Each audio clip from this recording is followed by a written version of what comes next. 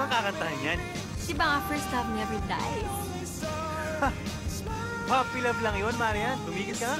True friends are hard to find. Tay, nandun na nga ako. Marangal naman talaga yung trabaho ni Palis. Pero pwede naman siya maging sikat. Yung sikat na sikat. Parang si Lance. Oo, parang si Lance. Di ba nakakabilib naman talaga si Lance? True love is harder to find. Ikaw, may girlfriend ka ba? Wala pa ho. Bakit? Gusto ko kasi yung ah, best friend ko. Kaya lang pag sinabi ko sa kanya, magagalit yun. Tumingi ka pala eh. Eh kung hindi magalit, But if you fall in love with your best friend, Hanggang sana kaya abot sa kakahabol dyan kay Lance. Hanggang sa dulo ng walang hanggan.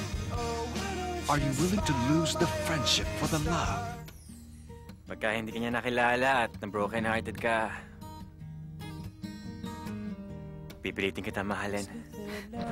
Gagi!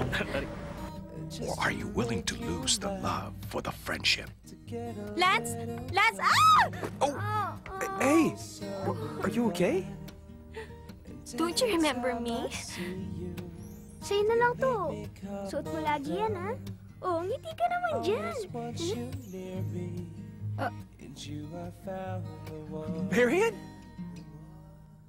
Palits. She likes rice. Ah, sh- she likes wings. When does friendship end and love begin? I believe in puppy love, first love, whatever you want to call it. Because it stays with you. I know. Mine did.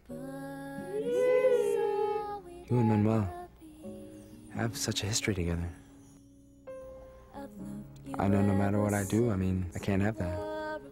Are you jealous? Yeah. Very. Masyado na masakit sa dibdib ko yung mga pinaggagawa mo. Di mo naman ako matitiis eh. Yun na nga masakit eh. Hindi kita matiis. Kasi mahal mo ko. Star Cinema and Close Up proudly bring that teaches us that true love can wait. Bakit hindi mo sa akin sinabi? Marian, bakit ba?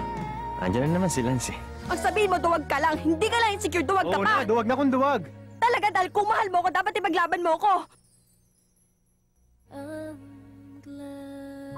Close to